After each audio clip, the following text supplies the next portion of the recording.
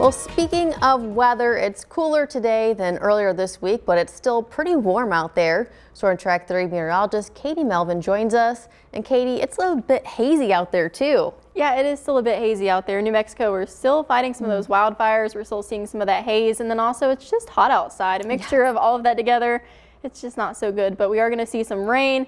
That's going to be washing away some stuff, especially like pollen. I am definitely over the pollen. And um, speaking of the rain, so here is radar right now. We are tracking some pop-up showers, which I know is hard to believe if you're near a window. I know you see sunshine, but we have some warnings just to our west. This is not yet in our region, but that is for Missouri. And something else to note, it's a very active storm. It's a very summertime-like storm. There's a lot of lightning associated with this as well. But like I said, if you're near a window, it is sunny outside Poplar Bluff right now. Blue skies and 87 degrees. So we're still well above where we should be for this time of year.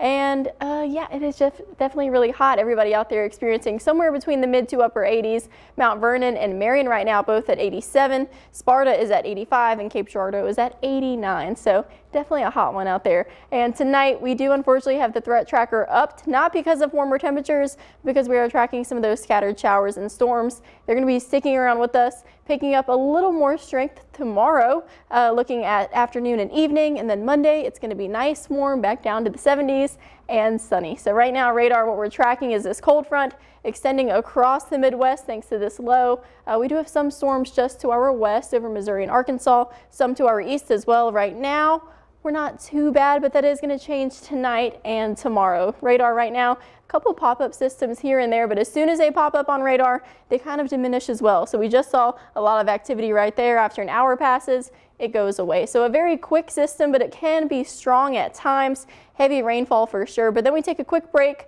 um, overnight and then we're seeing more of that rain tomorrow. If you want to get outside and maybe mow the grass, tomorrow morning would be a good time. Tomorrow evening, not so much. And then Monday looks to be nice as well. So the timing of this, uh, tonight we're looking at about a 20% chance. It's a very isolated, scattered event.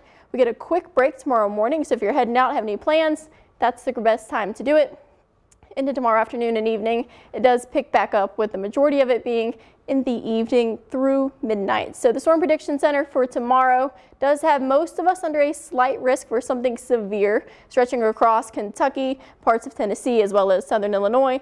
Just on the very western side, we do have an enhanced risk. So the biggest things we're really watching with this is some localized flooding thanks to heavy rain, possibly some wind and hail depending on how some of the cells set up tornado threat is pretty low. It's not at zero, but it's definitely the least thing to be concerned about. If you have any plans, it's great to download that Storm Track 3 app and have some way to get watches and warnings. And as Brooke was just talking about, there is an eclipse this weekend.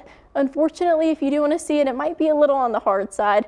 We are tracking a lot of showers and storms, and as we just saw, it's going to be happening tomorrow night. But taking a look at your 7 and 10 day there is a lot of rain, I know, but it is going to be a very scattered week uh, like we've been seeing for the past couple of days. It's just that time of year, dipping into the 70s at least, a quick break from all the heat on Monday, and then we're back up to the 80s for the rest of the week with some scattered chances of rain off and on. Well, I know a lot of people have graduation this past weekend, so a lot of people are having parties today. Hopefully those wrap up by this evening before some of those showers come in. Yeah, it's definitely not something you have to cancel your plans mm -hmm. over, but tomorrow evening, you're going to want to keep an eye on it. Okay, well, thank you so much, Katie. Thank you.